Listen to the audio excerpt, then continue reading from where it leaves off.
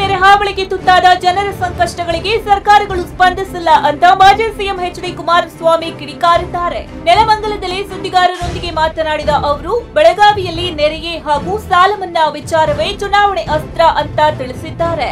ಇನ್ನು ರೋಷನ್ ಬೇಗ್ ಜೆಡಿಎಸ್ಗೆ ಬರುವ ವಿಚಾರದ ಬಗ್ಗೆ ಪ್ರತಿಕ್ರಿಯೆ ನೀಡಿದ ಅವರು, ರೋಷನ್ ಬೇಗ್ ಪಕ್ಷ ಸೇರುವ ಬಗ್ಗೆ ನಮ್ಮ ಮುಂದೆ ಯಾವುದೇ ಪ್ರಸ್ತಾವನೆ ಇಲ್ಲ ಅಂತ ಸ್ಪಷ್ಟನೆ ನೀಡಿದ್ದಾರೆ. ಜಿಲ್ಲೆಯ ಅಥಣಿ ತಹಶೀಲ್ದಾರ್ ಕಚೇರಿಯಲ್ಲಿ ಕಾಗವಾಡ ವಿಧಾನಸಭಾ ಕ್ಷೇತ್ರದ ರಾಜುಕಾಗಿ ಅಥಣಿ ಕ್ಷೇತ್ರದ ಗಜಾನನ ಮಂಗಸೂಳಿ ನಾಮಪತ್ರ ಸಲ್ಲಿಸಿದ್ದಾರೆ. ಈ ವೇಳೆ ಅಭ್ಯರ್ಥಿಗಳಿಗೆ ಮಾಜಿ ಸಚಿವ ಎಂಬಿ ಪಾಟೀಲ್ ಸಾಥ್ ನೀಡಿದ್ರು. ಬಳಿಕ ಸುದ್ದಿಗಾರರೊಂದಿಗೆ ಮಾತನಾಡಿದ ಎಂಬಿ ಪಾಟೀಲ್, ಇದು ಅವಶ್ಯಕತೆ ಇರದ ಉಪಚುನಾವಣೆ. ಅನರ್ಹ ಶಾಸಕರು ಮತ್ತೆ ಚುನಾವಣೆಗೆ ಸ್ಪರ್ಧಿಸಿರುವುದೇ ಸಂವಿಧಾನಕ್ಕೆ ಮಾಡಿರುವ ದೊಡ್ಡ ಅಪಮಾನ ಅಂತ ವ್ಯಂಗ್ಯವಾಡಿದ್ದಾರೆ ಇನ್ನು ಜನಸಾಮಾನ್ಯರ ತೆರಿಗೆ ಹಣ ಈ ಉಪಚುನಾವಣೆಗೆ ವ್ಯಯವಾಗ್ತಾ ಇದೆ.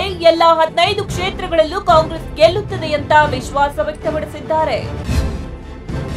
ಗೋಕಾಕ್ ಕ್ಷೇತ್ರದ ಉಪಚುನಾವಣೆಯಲ್ಲಿ ಅನರ್ಹ ಶಾಸಕ ರಮೇಶ್ ಜಾರಕಿಹೊಳಿ ಬಿಜೆಪಿ ಅಭ್ಯರ್ಥಿಯಾಗಿ ನಾಮಪತ್ರ ಸಲ್ಲಿಸಿದ್ದಾರೆ. ಕೇಂದ್ರ ರೈಲ್ವೆ ಇಲಾಖೆ ರಾಜ್ಯ ಸಚಿವ ಸುರೇಶ್ ಅಂಗಡಿ, ಕೆಎಂಎಫ್ ಅಧ್ಯಕ್ಷ ಬಾಲಚಂದ್ರ ಜಾರಕಿಹೊಳಿ, ಕೆಎಂಎಫ್ ನಿರ್ದೇಶಕ ಅಮರನಾಥ್ ಜಾರಕಿಹೊಳಿ, ಕೊತ್ವಾಲಗೌಡ ಮತ್ತಿತರರು ರಮೇಶ್ ಜಾರಕಿಹೊಳಿಗೆ ಸಾಥ್ ನೀಡಿದ್ದಾರೆ.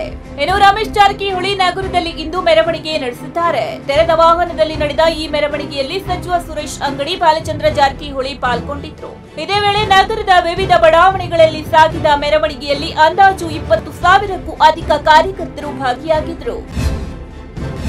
ಕಾಗವಾಡ ಉಪಚುನಾವಣೆ ಹಿನ್ನೆಲೆಯಲ್ಲಿ ಕಾಗವಾಡ ತಾಲೂಕಿನ ಉಗಾರ ಗ್ರಾಮದಲ್ಲಿ ಬಿಜೆಪಿ ಬಹಿರಂಗ ಸಭೆ ನಡೆಸಲಾಯಿತು.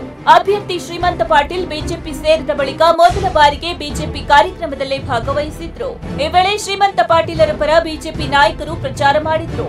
ಇನ್ನು ಸಿಎಂ ಲಕ್ಷ್ಮಣ ಸವದಿ, ಸಚಿವ ಜಗದೀಶ್ ಶೆಟ್ಟರ್, ಶಾಸಕರಾದ ಪಿ ರಾಜೀವ್ ಡಿಎಂ ಐಹೊಳೆ ಮಾಂತೇಶ ಕವಟಗಿಮಠ ಸೇರಿದಂತೆ ಹಲವು ಸ್ಥಳೀಯ ನಾಯಕರು ಭಾಗಿಯಾಗಿ ಕಾರ್ಯಕರ್ತರ ಸಭೆ ಉದ್ಘಾಟಿಸಿ ಶ್ರೀಮಂತ ಪಾಟೀಲ್ ಪರ ಮತಯಾಚಿಸಿದ್ರು.